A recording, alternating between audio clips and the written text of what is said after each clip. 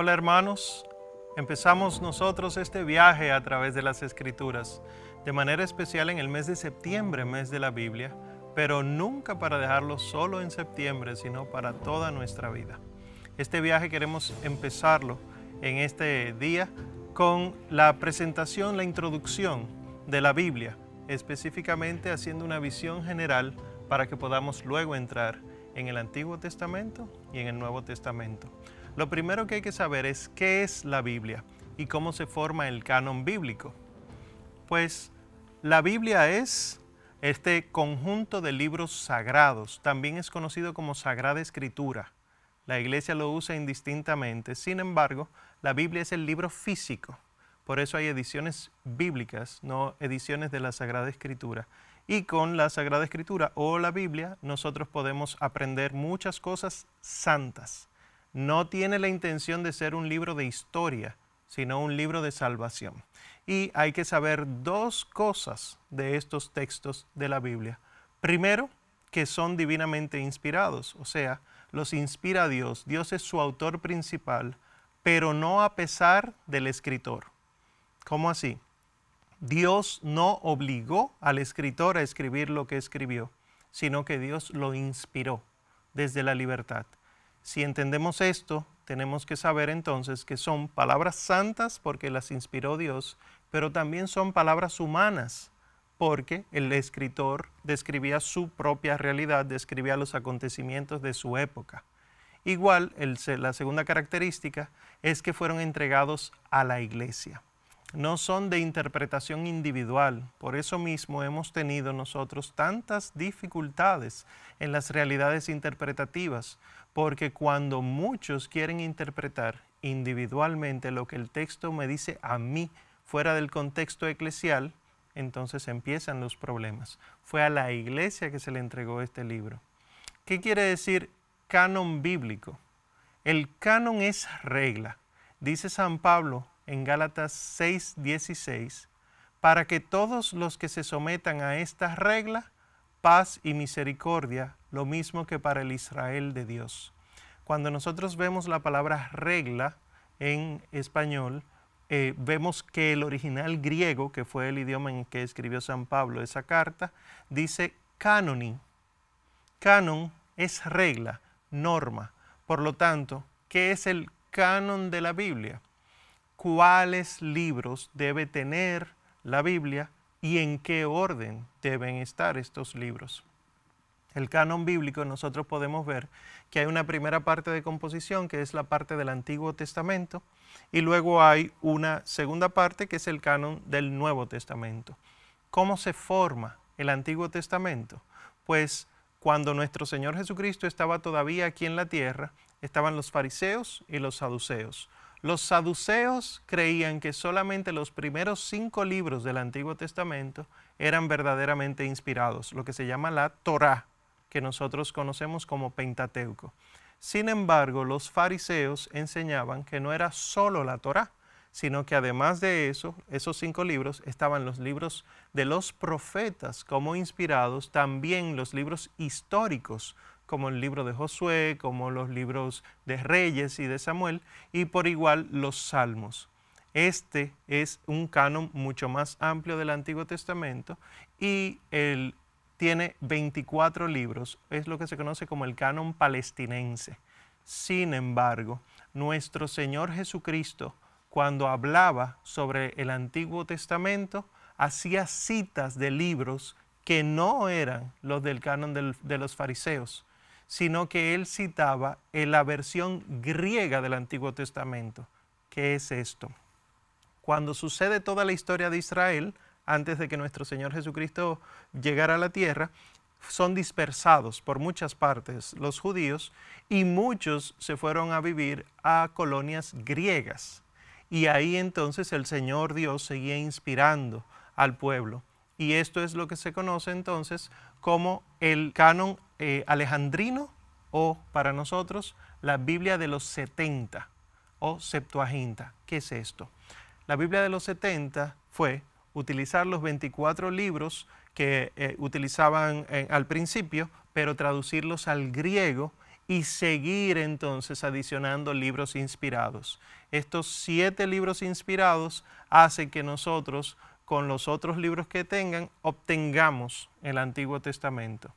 Algunos dicen, pero es que esos libros no están en hebreo y el Antiguo Testamento debió haber sido en hebreo.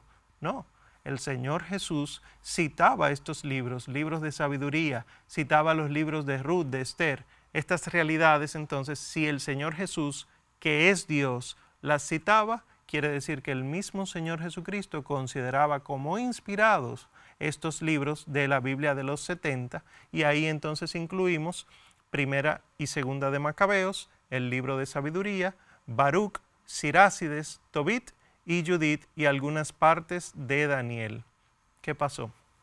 Como los cristianos empezaron a utilizar eso, la Biblia de los 70, como lo inspirado, los judíos hacia el año 100, 130 decidieron declarar ese canon como si fuera falso y se quedaron con el canon de los fariseos, pero fue en contra de los cristianos. Y por eso entonces los judíos de hoy dicen que nosotros le hemos agregado. Sin embargo, la realidad fue que para estar en contra del cristianismo sacaron esos libros y ahí entonces, de ahí es que copian luego los protestantes con Martín Lutero en 1517.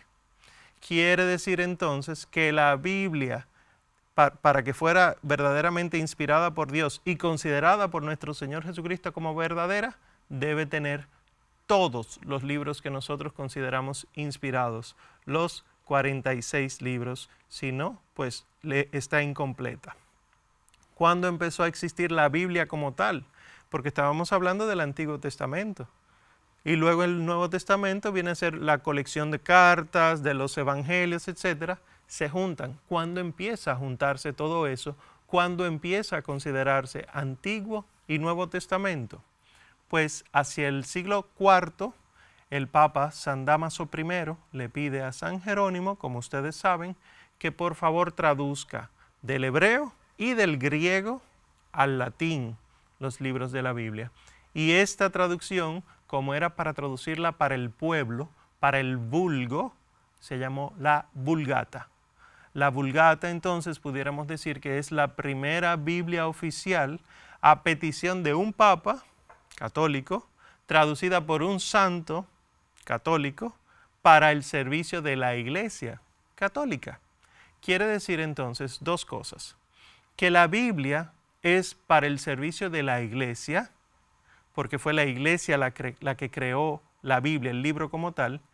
Y segundo, que durante todo el periodo que no hubo Biblia, ¿cómo se transmitía la fe?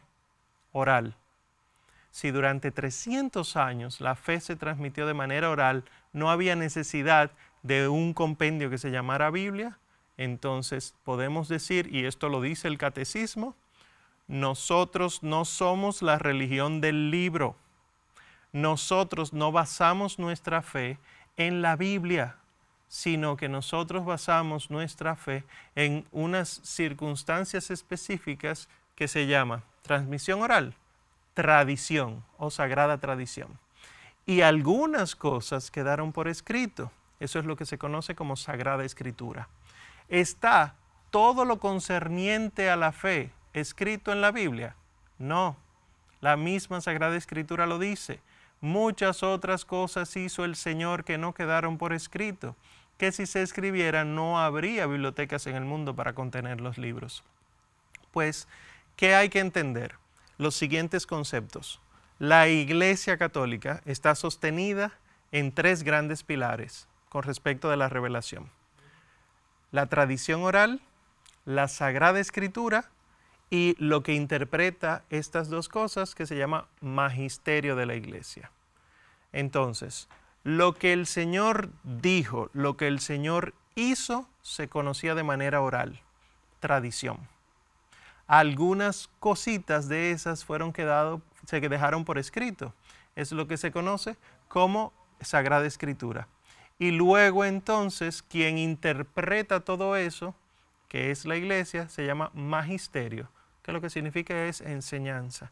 Si nosotros vemos la Sagrada Escritura fuera de la realidad de la iglesia, no la vamos a entender y vamos a empezar a interpretar cosas equivocadas.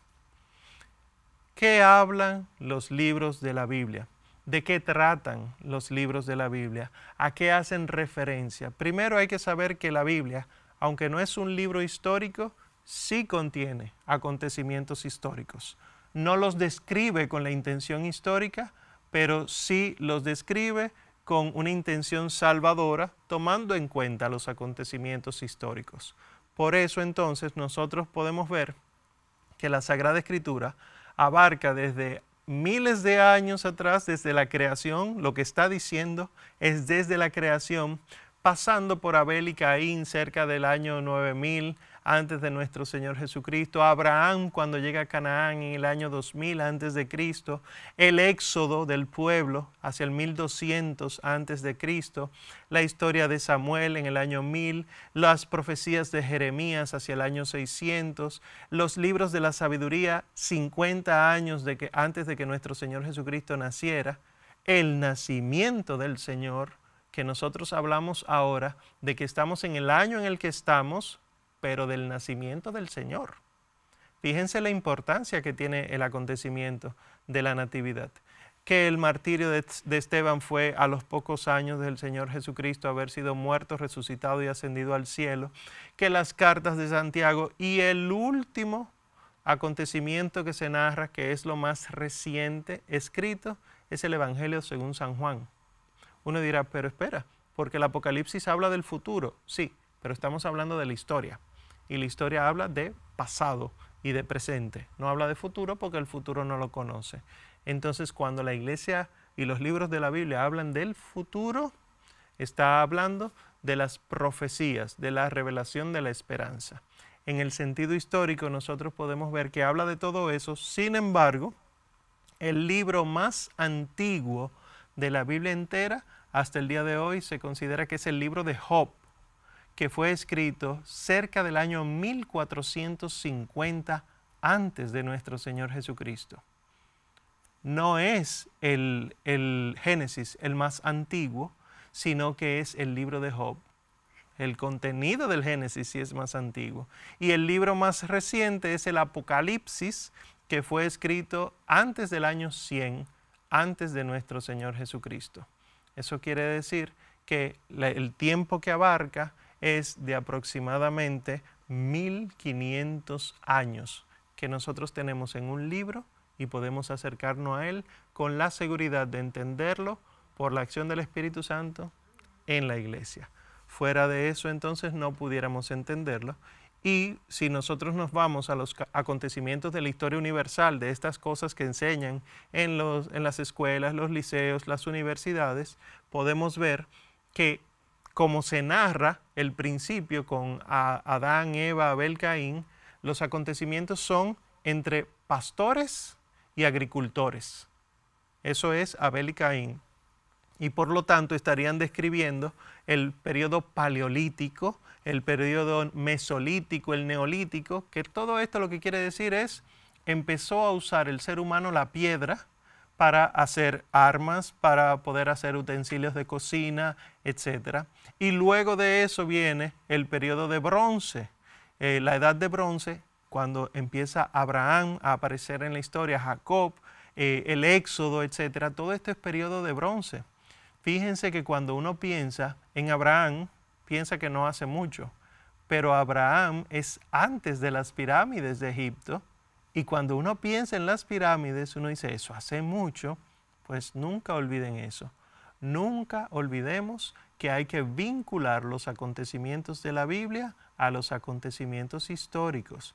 Es verdad que la manera que describe los sobrepasa, pero está en esa situación. Y recuerden, por ejemplo, la historia de José. José, el que fue vendido por sus hermanos, llegó a ser alguien importante en el antiguo Egipto y de eso hay testimonio en el mismo Egipto que se va narrando eh, en nombre egipcio este personaje hebreo que adquirió mucha fama. La edad de hierro, por ejemplo, es descrita cuando se, el rey David es coronado, cuando cae Israel y cae Judá, que es el periodo asirio. Aquí empiezan los grandes imperios que probablemente han escuchado de la historia universal, que los asirios, los babilonios, los griegos, etc. Pues el periodo asirio es cuando caen Israel y Judá, y luego entonces el periodo babilonio o persa, que es cuando caen cautivos en Babilonia, que por ejemplo ustedes conocen ese salmo que dicen que cómo cantaron un cantar de Sión en tierra extranjera. Junto a los canales de Babilonia nos sentamos a llorar, eh, a tratar de llorar las realidades que nos hacen falta, porque estaban exiliados. Y por último entonces hay dos otros imperios, el imperio griego o helenístico, que empieza a dominar todo, y por último el imperio romano. En el contexto del imperio romano es que concluye el Antiguo Testamento y se desarrolla el Nuevo Testamento. Y ustedes lo saben porque la vida de nuestro Señor Jesucristo habla de centuriones, habla de Poncio Pilato, habla del César. Esto es imperio romano. Quiere decir que el Antiguo Testamento tiene el imperio asirio, el imperio persa, el imperio griego y el imperio romano. Y luego entonces se extiende el romano durante el Nuevo Testamento. También hay que saber que muchas veces nosotros tenemos falsos conceptos sobre la Sagrada Escritura, falsos entendimientos sobre la Biblia. ¿Qué mentiras nos dicen? En ocasiones lo aprendemos de prédica, ni siquiera de lectura. Muchas veces no acudimos a libros, no acudimos a programas buenos de televisión o de radio, sino que escuchamos prédicas y puede ser que los, los, que nos predican no estén muy bien preparados, sino que tengan influencia protestante. Y por eso entonces nos dicen, por ejemplo, una, una mentira, que la misma iglesia dice que no es así. La Biblia es lo único que necesita el cristiano para salvarse. Y por eso mismo entonces muchos creemos, creyendo eso, creemos que la Eucaristía no es necesaria. Uno va a la misa cuando lo siente en su corazón.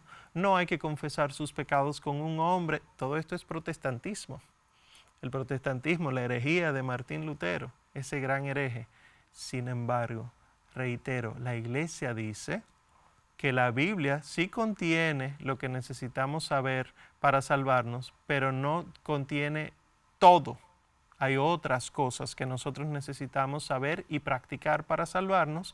Y aquí entran, por ejemplo, en la Sagrada Liturgia, los siete sacramentos, la liturgia de las horas, los sacramentales, la vida de oración no sustituye la vida de los sacramentos, el Santo Rosario, etc.